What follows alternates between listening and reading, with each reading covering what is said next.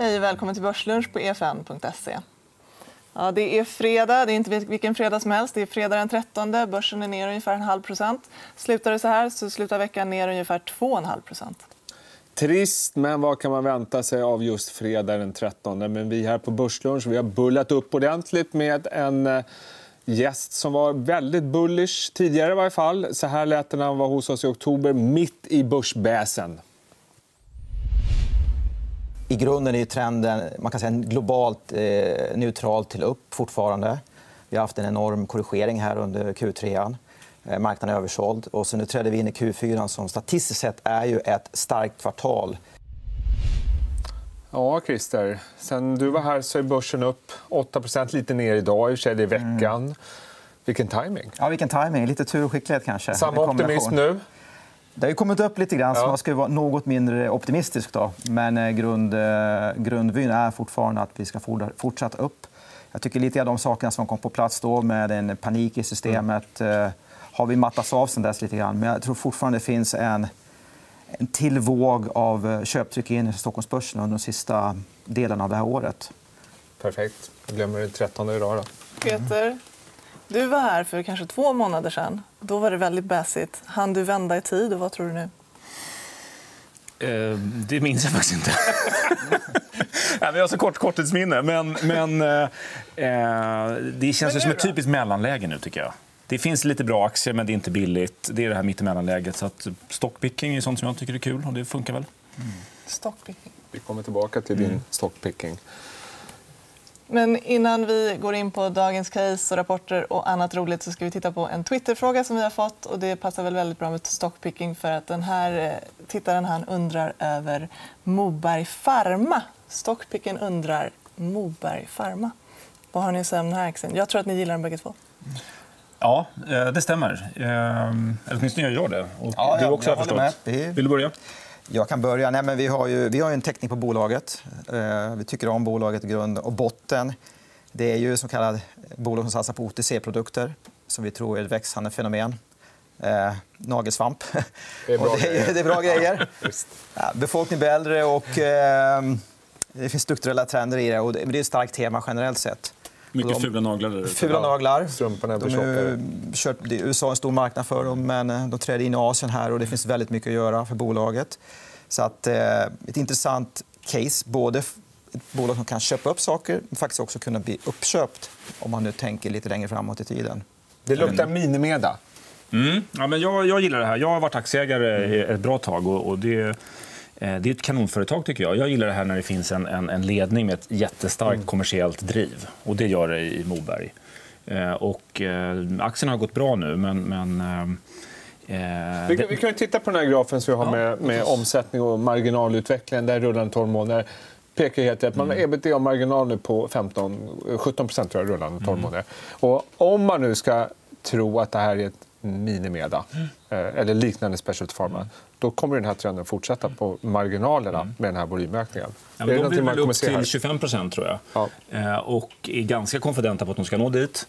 Eh, och, sen, och då är aktien intressant tycker jag bara på det. Men sen så finns det två stycken optioner i det här. De har två stycken läkemedelskandidater. En på väg in i fas 3 och en i fas 2. Mm. Och det är ganska bra för den här typen av eh, En liten projekt. option som ja. ligger på OTC utöver... Som jag tycker man får i princip gratis.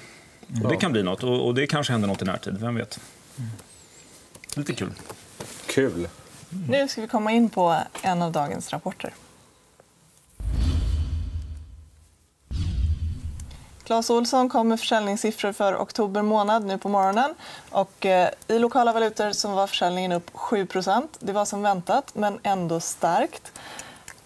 Peter, vad kan man säga? 7 det är för att man är ju rätt stor i Sverige. Sverige går mm. jättebra. Konjunkturen är fantastisk. Skulle du fortsätta köpa den här typen av bolag? Är konjunkturen fantastisk? Eller är det att efterfrågan ökar? på något sätt? Ja. ja. nej, jag vet inte. Men, men det är uppenbart att det, att det finns ett, ett, ett enormt efterfrågetryck i, i Sverige. Och det är ju migration, och det är konjunktur och det är massa saker. Eh, jag är inte jättekär i Clas Ohlson, men... men eh, men, men är inte det här en sån aktie? Det här är liksom, alla skriker efter tillväxt. Har de gjort under hela året. Mm. Att man vill ha bolag med tillväxt. Mm. Och man kan säga att Clas Ohlson kanske låter trist, men har man 7% tillväxt i oktober... Mm Det, det är ju, alltså så här är det rent krasst. Det kanske inte är det mest spännande bolaget. Det, det, är bra. Du får väl en hyfsad direktavkastning i det. Mm. Och det är välskött bolag rakt igenom. Eh, sen är det ju en rätt konkurrensutsatt marknad att jobba på med eh, rätt många andra aktörer som eh, jobbar i det segmentet.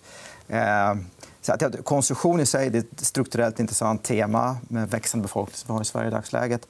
Men jag tror det är lite intressant att titta på kanske bolag som har lite mer av en aggregator-profil. Mm. Det vill säga käka marknadsandelar. Då kan vi ta det här XXL som ett bra exempel som jobbar i lite mera tema som är väldigt mer i strukturell tillväxt. Sportsegmentet. Och där sker väldigt mycket inom det. Så det beror lite grann på vilken investerarprofil man har. Definitivt. Men som sagt, ett bolag som kanske gillar 5% plus på yield. Ja. Det är svårt att få ner en sån aktie på börsen. Ja. Så att för den typen av investerare så är det säkert perfekt. En sak som brukar få ner den här typen av detaljhandelsbolag är ju om man är orolig för valutan. Vi har en graf som du har tagit med dig, Christer, som visar att man kanske inte alltid ska spela valutan mot kanske detaljhandel eller som i det här fallet verkstad. Det är alltså mm. SKF Nej, det var inte den. Utan nu, nu har vi gått vidare. Och nu pratar vi om SKF och eh, dollarn. Alltså det här är SKFs kursutveckling mot OMX30 och sen så är det dollarn. Ja, exakt. Och jag skulle säga här att man skulle nog kunna lagt in verkstadssektorn mot OMXS30. Det hade varit ungefär liknande graf. Men om man går tillbaka till året 95 till år 2000 så gick dollarn från 6 kronor upp till 12-13 någonstans på mm. slutet. Och då tänker man fantastiskt, här ska man äga SKF för hela slanten. För de är en enorm valutavinnare på det. Men så var det ju inte. Det gick ju ganska dåligt faktiskt. För det var andra teman som gällde. Det var IT-temat och vad bolagen själva levererar. Jag tror att man överskattar effekten av valuta oftast. Det är mer komplext än man tror. Och det är inte liksom det som är skillnaden i ett case. Det kan hjälpa till på marginalen, men du vill ha andra komponenter verkligen för att, för att köra storyn. Och det tror jag typ exempel som Clas Ohlson är att man kanske... Vill... Du vill ha organisk tillväxt. Och det har väl inte verkstad varit kanske du, vill ha till... du vill ha tillväxt. Ja. Sen om det är organiskt organiskt, men du vill ha någonting som du kan köra på. Eh, sen är det ju så att marknaden är olika teman. Just nu långsiktigt så är det kanske inte verkstad som är det stora strukturella temat man vill köra på. Så att, eh, de får hjälp av det. Men det, det, det, liksom- du, du, kommer nog inte se en övervärdering på, på såna typer av aktier jämfört med kanske små, small och midcap-aktier som är kanske mera av populära aktier och teman i dagsläget. Men vi var inne på att sen du var här sist, OMX30 har gått nästan 8 mm. Verkstad har gått ännu, ännu bättre. Mm. Säger du att det kommer inte fortsätta gå på grund av dollarn? Eller? Jag tror ju att eh, om man tar bolag som Volvo som vi pratar om eh, och liknande bolag så har de kommit upp Jag tror det finns ytterligare uppsida med aktierna i absoluta tal. de kan säkert gå 10-15% del av de aktierna fortsatt. Men därifrån och framåt så tror jag det, det kanske inte blir så mycket mera. Ehm, framförallt inte så tror jag inte de kommer att vara de här ledande aktierna mot andra mot marknaden totalt sett. Det är min gissning. Men här och nu, alltså jag tror i verkstad ska man också göra det väldigt enkelt för sig. Verkstad är väldigt, det låter som en sektor med en aktie, men så är det inte. Det är extremt olika djur med olika förutsättningar. Mm. Och nu när vi har en väldigt låg tillväxt i världen så gäller det att skilja agnarna från vetet. Och det är det man måste göra sitt jobb på. Tror jag. Så det, vi kommer vi säkert se under nästa år att det blir stora skillnader hur de här aktierna levererar och avkastar. Det, det är gissningen.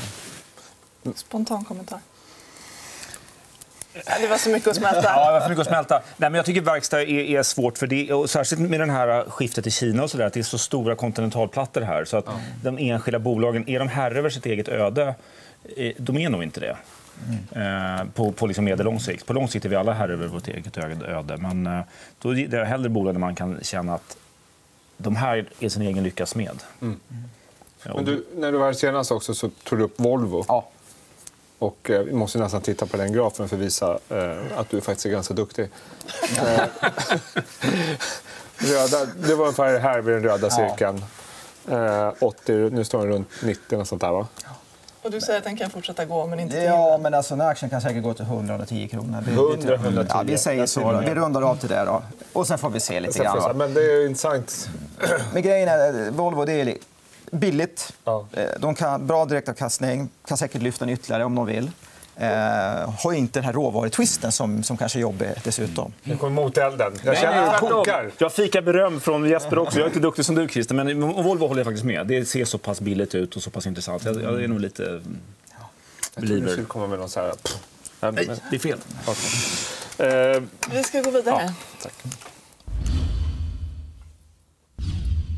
Nu har vi kommit till programmets höjdpunkt för allt det här resonerandet. Det kokar ner till en specifik aktie, inte bara Moberg Pharma utan du har valt Christer NCC. Ja, det har jag gjort. Det har gjort. Vi har haft många här som har pratat gott om ja, det. det. det, så, tyvärr. Det var, det var ett, tyvärr, säger jag. Det är som spelbolag under det här året. Det är för många som kan det nu.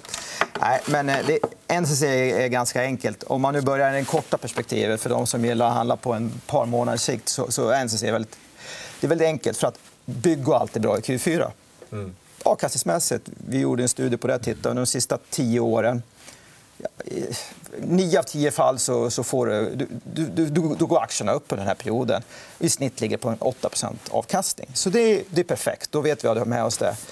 Sen är det också den andra grejen som är att under mitten av december så har vi den klassiska PPM-bågen av pengar som kommer in. Och det går ofta till lite mindre fonder som ofta köper dem ofta gillar igen. Och då är midcaps med NCC gynnas av det också. Så det ska man komma ihåg. Det är ungefär 35 miljarder totalt till marknaden. Då. 7 miljarder till svenska aktier.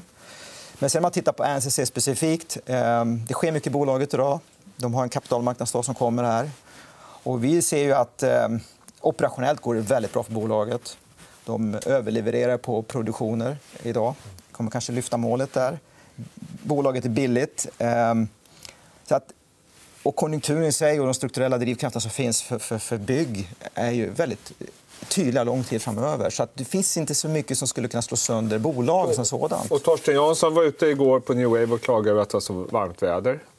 De här bolagen borde väl jubla ja, det. Det i Q4. Ja. Det är perfekt. Det var i för sig milt förra året också, så det kanske är svår jämförelsesiffra. Men... Ja, men pengar är pengar och det blir pengar, pengar år igen pengar, kanske. Pengar år igen. Det är ju inte alls illa faktiskt. Men vi kan titta på NCC-grafen också. För att du är ju som sagt teknisk analytiker i grunden. Du, du gillar det här tekniskt också. Oh, då, då ser man den här grafen och tänker man herregud, den här aktien har gått. Nu är det för sent. Det är aldrig för sent. Det är ju regel nummer ett. Då. Men det, det, här är ju vad ska man säga, underliggande bra trend drivet mycket av växande vinster såklart och, och drivkraft. Och så har vi den här lilla panikrörelsen på slutet. Nu har den kommit ner lite grann här i samband med rapporterna. Men eh, det här visar att ändå, om man tror att marknaden berättar ett budskap att någonting är bra i bolaget då ska det ofta vara en stigande aktiekurs som, som visar upp det. Så jag ser ju ingen svaghet i det här, utan jag ser bara styrka. Och sen ska man komma ihåg en sista grej med NCC. Att man tycker oj vad den har gått. Men tittar man i år så är den upp med utdelning ungefär 10% Så den har inte egentligen gått så mycket i år om du jämför med bolag som Tobii och liknande. Så att det, det, det, finns lite upp, jag tror det finns lite uppdämt köpbehov i den här aktien kan komma. Springer du hem och tokköper NCC nu? Nej, jag har lite andra byggengagemang. Så att säga. Men, men eh, jag, gillar, jag gillar NCC. Eh, och Peab kommer nu och det var inte fullt lika bra. Nej. Men jag funderar lite, så här, kan det inte komma någon kostnadsinflation här nu? Om man ska styra över byggandet till baracker ute på olika fält och sånt här. Ja, det, det är väldigt svårt för mig att svara på. Men, mm. Det som jag tror svårigheten ofta i byggbolag som har lärt oss det är de här operationella riskerna. Mm. Det, blev, oj, det blev en vinter. Ja, det var ju inte så bra. Liksom. Eller så blev det sommar. Ja. Eller så blev det någonting, att det blev en eh, projekt som fallerar. Och liknande. Mall Scandinavian i Peab. Det är hela tiden såna grejer. Det får vi leva med. Skanskas problem i Brasilien och så vidare. Men, och sen drar man ut horisont och säger men titta lite längre sikt på det här det, det, de, de har strukturella drivkrafter, de är duktiga på vad de gör. Och man måste bara leva med att det finns en viss volatilitet i bolagen. Då, då får man rätt bra betalt för det. faktiskt. Mm. Peter, du är inte bara krönikör, du har även med ett case. Ja, jag, jag, och jag tänkte vi skulle ta, för, eh, det är lite roligt för att det case du har, man kan ta avstamp i en av dagens rapporter. Och det är Altele som kom med en eh, svag rapport. Det är en aktie som har, har gått skitdåligt, får man säga så i tv? Ja. Eh, de gör massa nedskrivningar och så vidare. Men det är inte dem du vill prata om? Nej. Eh, men Altel är ju en liten alternativ teleoperatör. Och jag tycker det här illustrerar väldigt väl varför man ska satsa på, på så att säga, det bästa bolaget. För jag gillar deras konkurrent som heter Bahnhof eh, som är ett kanonföretag. Det är mm. kvalitet rakt igenom. Eh, eh, växer, går som tåget har gått från ingenting till nu 150 spänn per aktie ungefär. Och det... Vi kan titta på den grafen som visar just jämförelsen med Altele och eh, dessutom, vi tog med Carnegie Small Cap också. Det är... Ja, just det. Och det är aldrig för sent att köpa har vi lärt oss precis. Att... Nej, men de, de växer vidare snabbt, 15-20% och Det är så att säga, bra återkommande ja. intäkter eh, och en jätteduktig entreprenör. Och de, de, nu har de börjat med lite förvärv och såna här mm. saker. Och det, det, är inte jättebilligt, runt 150 spänn här nu. Men nu har de en jättespännande grej att de ska starta en en, en av Europas största serverhallar. Mm. eh, som är helt unik. för De tar den här alltså, spillvärmen och skickar tillbaka in i fjärrvärmenätet. Ja. Så du får betalt för din största... Du får betalt en gång till för din största kostnadspost. Att säga. Eh, och det här kommer bli en kanonkalkyl. De säger att det här kommer bli värt 3 miljarder. Eh, deras andel kanske blir säger vi, 2 miljarder. Det är 150 kronor per aktie. Mm. Så du får allt annat på köpet? Ja, fast det här är flera år ut och det är risker förenat med det. Men, men liksom, lite grann borde det prisas in, tycker jag. Och de har en historik som visar att de faktiskt kan leverera? Ja, jag skulle vilja satsa på en vinnare en gång till. så att säga. Har man lyckats så länge som de har gjort så... Um, jag skulle ge dem the benefit of the doubt, som det heter på svenska. Och som sagt, Christer säger att det är aldrig för sent att köpa. Nej, det är en väldigt bra visdomsord. faktiskt. Fantastiskt. Väldigt bra. Hörrni, det är fredag, även om det är den 13 så hoppas vi att ni får en trevlig helg. På måndag är vi tillbaka med Peter van Berlekon från Alfred Berg och vem var det med? Lars Hallström från Handelsbanken. Vi ses på måndag.